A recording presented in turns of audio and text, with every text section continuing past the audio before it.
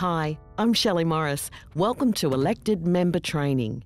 Good governance is a four way play knowing your responsibilities, being well informed, representing the community, and making good decisions. Let's watch one of Australia's leading governance experts, Jenny Robertson, explain council business in a way we can all understand.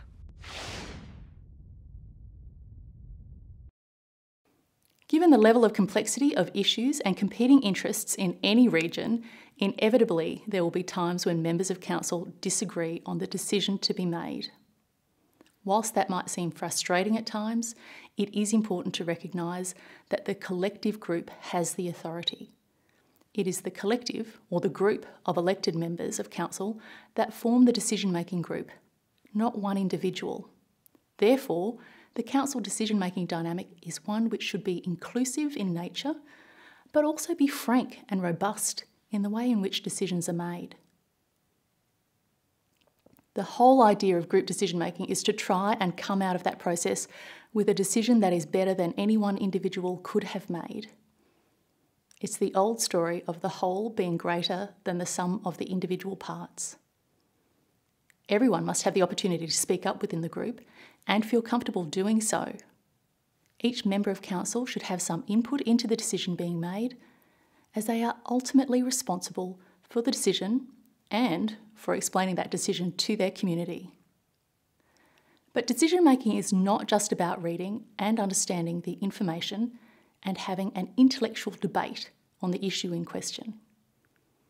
Some important parts of decision making relate back to the emotional intelligence that members of council bring to the table. For instance, understanding body language can help in understanding someone else's point of view. During briefings and council meetings, it is extremely important that all electronic devices are turned off. That way, members of council can give each other their full attention, including looking and listening actively to whoever is speaking.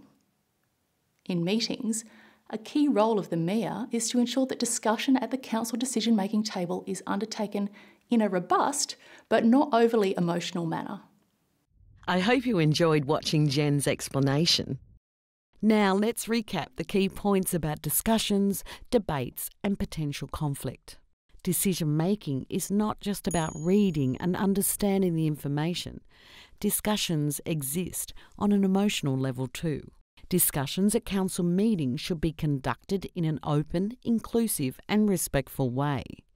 Each member needs to be encouraged to have their say, and members should give their full attention to whoever is speaking.